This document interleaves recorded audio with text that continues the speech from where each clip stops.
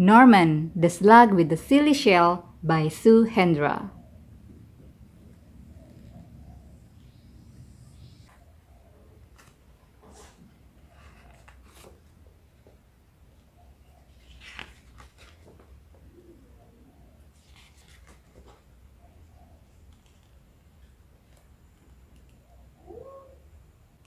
Norman the Slug thought snails were great. Wow, said Norman. Look at them. They are amazing.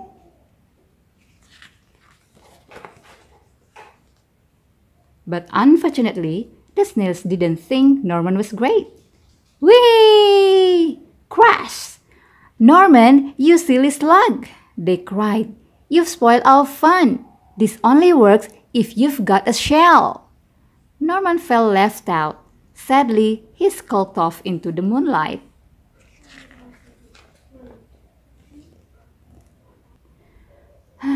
If only I had a shell of my own, he sighed, looking at his reflection.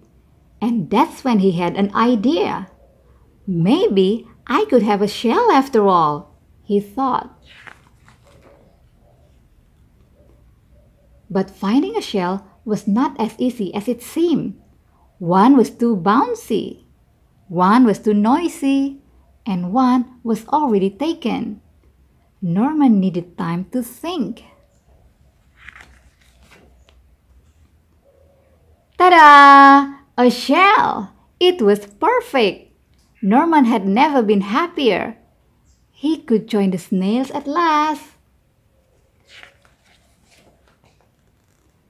Norman loved being a snail, and the snails loved Norman's silly shell. But the fun didn't last for long. Suddenly, there was a loud flapping of wings. Look out, bird! Cried the snails in panic. Quick, slither for your lives, or we'll end up as supper.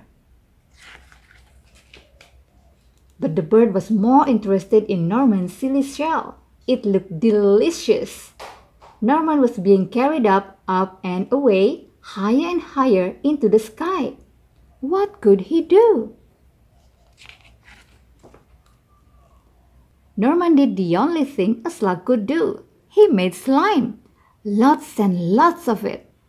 With a slither and a slaughter, a slip and a slide, Norman was free.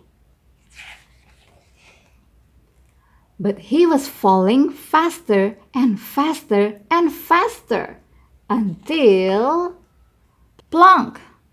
Norman, Norman, are you okay? asked the snails. Wow, said Norman. That was great. I love flying. If only I had wings. Ta-da!